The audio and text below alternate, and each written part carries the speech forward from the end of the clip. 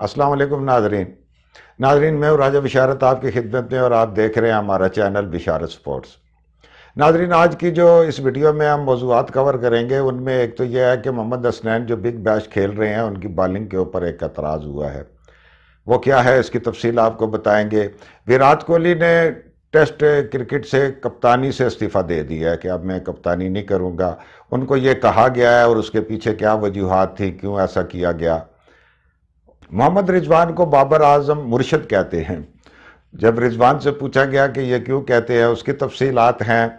उसके बाद एक और बात आजकल जेर बहस हो रही है कि जब इंडिया से पाकिस्तान जो है टी ट्वेंटी वर्ल्ड कप में मैच जीत गया था तो मोहम्मद रिजवान और विराट कोहली गले लग के जो हंस रहे थे और जो बातें हो रही थी, वो क्या बातें हैं?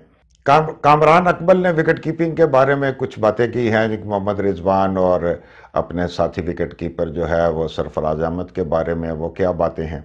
तो नाजरीन, अगर आपने चैनल को सब्सक्राइब नहीं किया तो काइंडली इसको सब्सक्राइब कर लें। नाजरीन, ये जो मोहम्मद हसनैन के साथ वाक़ पेश आया बिग बैश में, ये कोई वाक़ रिपोर्ट नहीं हुआ। ये एक बैट्समैन को जब इन्होंने बाउंसर मारा तो उसने आगे से कहा कि आपने, ये जब हम बॉल करते हैं, जैसे हम गली मल्ले की क्रिकेट में कहते हैं कि आपने वट्टा फेंका है। यानी कि एक जो एक्शन है क्रिकेट का, मंजूर शुदा, उसके अलावा आप एक थ्रो करते हो, जिसको चेकिंग कहते हैं या थ्रो कहते हैं तो उस तरह की बॉल कराई। हमारे जो दो बड़े फास्ट बॉलर थे, शेब अख्तर और शबीर जो थे, इनके ऊपर ये इल्ज़ाम लगे थे तो एक दफ़ा इन्होंने ऑफिशियली तो इस बात को नहीं कहा, ना ये जनाब ऐसी बात जो है वो अंपायर को बताई और ना उन्होंने कोई चेकिंग की। लेकिन जब बात निकलनी शुरू हो जाती है तो फिर जो है वो सब लोग जो है वो उस चीज़ को, उस चीज़ पे गौर करना शुरू कर देते हैं। तो उम्मीद है कि मोहम्मद हसनैन इसके ऊपर काबू पा लेंगे, अगर उनसे कुछ ऐसा हुआ है तो इस तरह की किसी बड़ी परेशानी से जो है वो बच जाए नाजरीन, विराट कोहली जो थे, इन्होंने जो अभी आज ऐलान किया है कि मैंने अभी कप्तानी नहीं करनी टेस्ट क्रिकेट में। उसकी क्या वजूहत थे विराट कोहली ने जो अपनी पूरी बात जो है वो ट्विटर के ऊपर लिखी है और विराट कोहली इस बारे में क्या कह रहे हैं? पहले आप वो सुन लें, फिर आगे चलते हैं। विराट कोहली ने कहा है कि मुझे ये होता मिले सात साल हो गए और इस अरसे के दौरान टीम को दुरुस्त सिमत ले जाने के लिए पूरी कोशिश की। इनका कहना था कि मैंने अपना काम बहुत ईमानदारी से किया, एक ना एक दिन सबको जाना होता है और मेरे लिए अब जाने का वक्त आ गया है। इस सफ़र में नशेब फराज का सामना रहा, लेकिन मैंने अपनी मेहनत में कमी नहीं छोड़ी और हमेशा अपनी सौ फ़ीसद परफॉर्मेंस देने की कोशिश की। मैंने वो किया जो मैं कर सकता था और जो मैं नहीं कर सकता था, मैं नहीं करता। विराट कोहली ने कहा कि मेरा दिल मुतमिन है कि मैंने बेईमानी से काम नहीं लिया। मैं इंडियन क्रिकेट बोर्ड का शुक्रिया अदा करता हूँ कि उसने मुझे कप्तान बनाया था और अपने साथी खिलाड़ियों का बहुत ज़्यादा मशहूर हूँ। उन्होंने कहा कि भारतीय टेस्ट क्रिकेट के इंजन को ऊपर ले जाने में रवि शास्त्री समेत जिन्होंने काम किया, इन सब का शुक्रिया अदा करना चाहता हूँ। विराट कोहली ने आखिर में एम एस धोनी का शुक्रिया अदा करते हुए कहा कि उन्होंने टीम को आगे ले जाने में मुझ पर भरोसा किया और मेरी लीडरशिप देखी। नाजरीन, आपने देखा कि विराट कोहली ने जो है वो रवि शास्त्री की भी बड़ी तारीफ़ की, एम एस धोनी की भी बड़ी तारीफ़ की और अपने बोर्ड की भी तारीफ़ की, ऐसा तो उन्होंने कहना ही था। लेकिन जब से Pakistan T twenty World Cup में जीता इंडिया से। उस वक्त से विराट कोहली के ऊपर जो है वो तीरों की बारिश ज़्यादा हो गई और ये होता है इंडिया पाकिस्तान के मैच में कोई भी कप्तान होता तो उसके साथ ये वाक़ होता। तो अब जो विराट कोहली हैं वो हकीकत में जो है इनकी नज़रों से उतर गए इस मैच के बाद।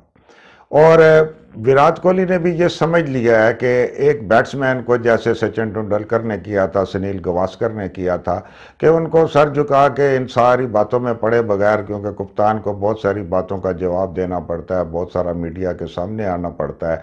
तो बेहतरी इसी में है कि मैं खामोशी के साथ खेलूँ और अपनी क्रिकेट के ऊपर तवज्जो दूँ और अपनी बैटिंग के ऊपर तवज्जो दी। और मेरे ख्याल में ये उनका सही फैसला है कि एक वक्त ऐसे आता है कि जब लोग आपके साथ उस तरह नहीं रहते, जिस तरह पहले रहे थे तो बेहतर यही है कि आप इस तरह की बातों में ना पड़ें और खामोशी से अपना किनारा अख्तियार कर दें और उनकी जो बड़ी वजह है, वो उनकी बैटिंग है और बैटिंग के ऊपर जो है, वो उनकी तवज्जो ज़्यादा हो जाएगी।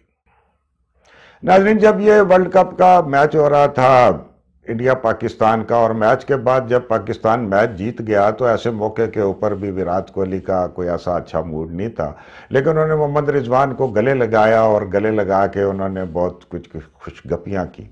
तो बहुत सारे साफ़ी और बहुत सारे लोग अभी तक इस चीज़ में थे कि इन्होंने ये क्या बातें की। तो मोहम्मद रिजवान जो है, उनसे जब ये पूछा गया कि आपने विराट कोहली के साथ क्या बातें की थी? तो उन्होंने कहा था, वो कुछ ज़ाती नवीयत की बातें थी जो मेरी और विराट के दरमियान थी, ज़ाती थी और आपको इसके साथ कोई दिलचस्पी नहीं होगी। तो उन्होंने उस बात को नहीं बताया।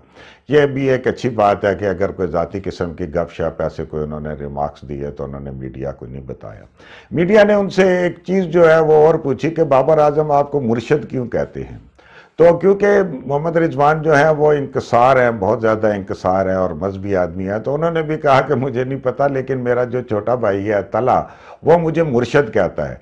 तो जब मेरा भाई मुझे मुर्शद कहता है तो इन्होंने भी मुझे मुर्शद कहना शुरू कर दिया। हालाँकि बात यह है कि जिस तरह की मोहम्मद रिजवान की परफॉर्मेंस है और जिस तरह वो टीम को ले चलते हैं और जिस तरह वो सारी बातें बताते हैं, बाबर आज़म का राइट हैंड है।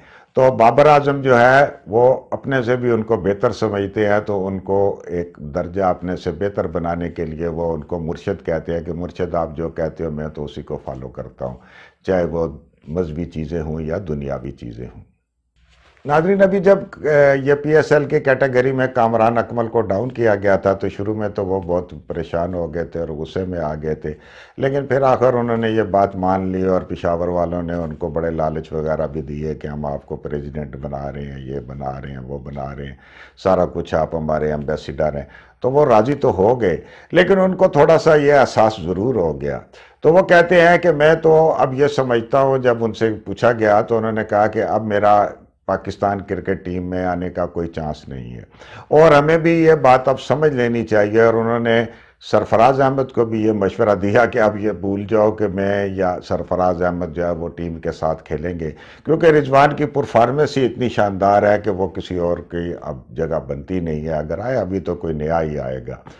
और दूसरी उन्होंने बात यह की कि मोहम्मद रिजवान के ऊपर हर आदमी को यह एतराज़ था कि ये टी ट्वेंटी में इसका जो स्ट्राइक रेट है वो डाउन है। लेकिन उसने हमारे मुँह बंद कर दिए और उसने इतनी अच्छी जो है वो स्ट्राइक रेट भी इम्प्रूव किया और इतने अच्छे कारनामे अंजाम दिए और इतनी अच्छी उसकी बैटिंग है।